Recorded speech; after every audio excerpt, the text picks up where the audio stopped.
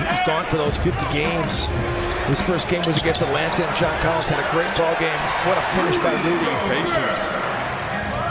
Still getting used to his new teammates both on and off the floor. And Utah.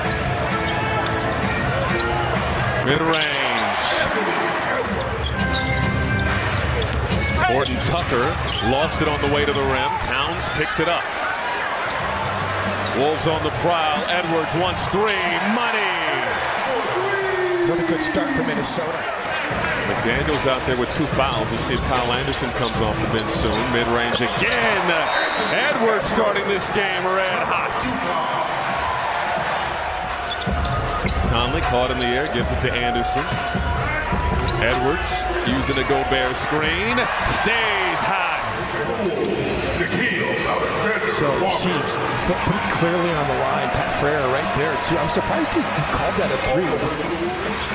Horton Tucker, the floater, can't hit, and Gobert clears it.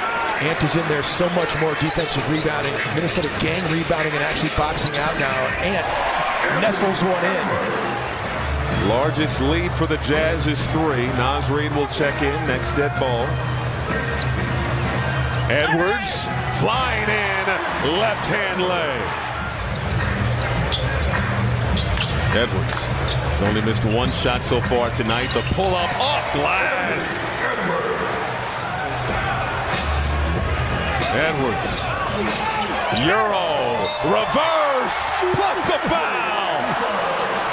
Sensational. Because he's gotten better at finishing around the rim, too. I mean, the way he uses the English that time to spin it off the glass.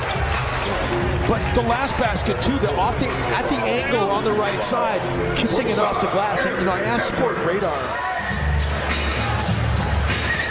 How about Towns, Gobert, and Reid out there at the same time as Anthony Edwards. Now, Minnesota, Minnesota had Utah down as oh. Gobert gets the lob dunk that time. What a pass by Ant from the top of the circle, traffic inside. He's tried to shoot those shots before. Wolves looking for their second victory in a row ahead of Monday's matchup with Boston. McDaniels outside. Edwards. Boom. They held Toronto to 97 points. They just could not stop them in transition. A lot of it was offensive inefficiencies, the same ones that happened as Anthony Edwards gets a driving layup there. You know, sometimes you got to learn a hard lesson, and sometimes these coaching points yeah. come through. Oh, the steal. Highlight. Oh, the windmill. Anthony Edwards winding it up, baby. Getting out into the passing lane. Taking that reversal pass and throwing it down.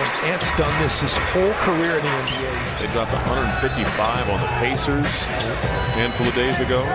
We know what's happened with Kristaps Porzingis His Ant makes an impossible shot.